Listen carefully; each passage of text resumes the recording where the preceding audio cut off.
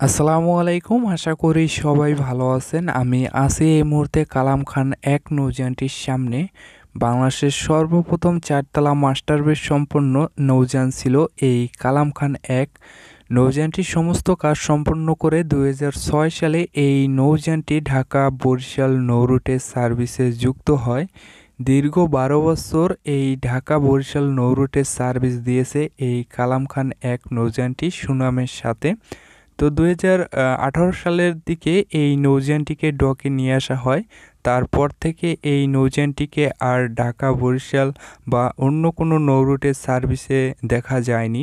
দুহাজার আঠারো সালের পর থেকে এমবি কালাম খান এক এই নৌযানটিকে বুড়িগঙ্গার বিভিন্ন ডকইয়ার্ডে একদম পরিত্যক্ত অবস্থায় পড়ে আছে। অযত্ন অবহেলায় দীর্ঘদিন যাবৎ ডকইয়ার্ডে পড়ে আছে এই কালাম খান এক নৌযানটি। তো নৌযানটি বেশ কয়েকবার গুঞ্জন উঠেছিল, নৌযানটিকে রিবডি করা হবে, কিন্তু বাস্তবে তা রূপ নেয়নি। তো দেখে বুঝতেই পারতেছেন যে নৌযানটির যে বেহাল অবস্থা, নৌযানটি ধীরে ধীরে এই বুড়িগঙ্গায় শেষ হয়ে যাচ্ছে।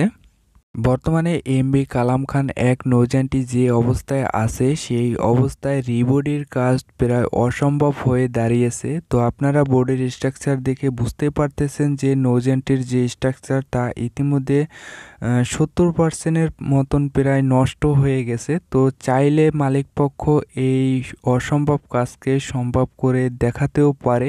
তো এটা আসলে সময়ের ব্যাপার। তো নৌযানটির ভবিষ্যতে কি হবে তা এখনও বলা যাচ্ছে না। তো প্রিয় দর্শকবিন্দু, ভিডিওটি যদি ভালো লেগে থাকে তো অবশ্যই একটি লাইক করে দিবেন। আর আপনি যদি আমাদের চ্যানেলে নতুন হয়ে থাকেন, আমাদের চ্যানেলটি সাবস্ক্রাইব করে আমাদের পাশেই থাকবেন।